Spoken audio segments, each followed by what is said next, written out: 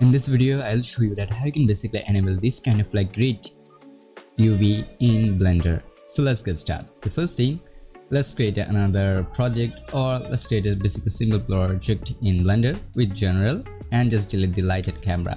Now we have basically this cube. Now for enabling this grid uh, tiling or texture, you need to first go to UV and then you find here the new. So just press on new.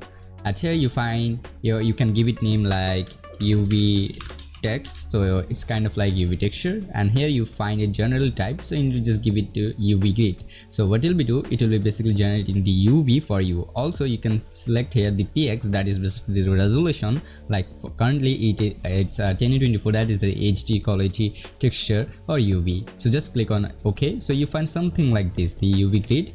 Now for using that UV grid on your this cube you need to just go to shading and just select your this cube or whatever your object and at the material section you need to press add.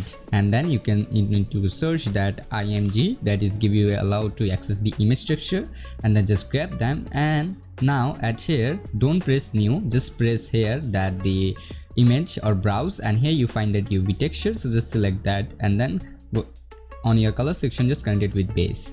So here boom you have now your uv grid with your cube.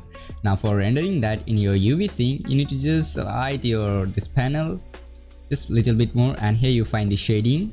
Just go to shading mode and boom here's your grid with UV so as you can see now you can do or uh, if you don't have any texture you want to just uh, set up your uv you can do by this. It's totally very easy and it's looking totally good. So you can understand actually how was your uv and it is more so thank you so much for watching this love you all. Bye. See you next tutorial video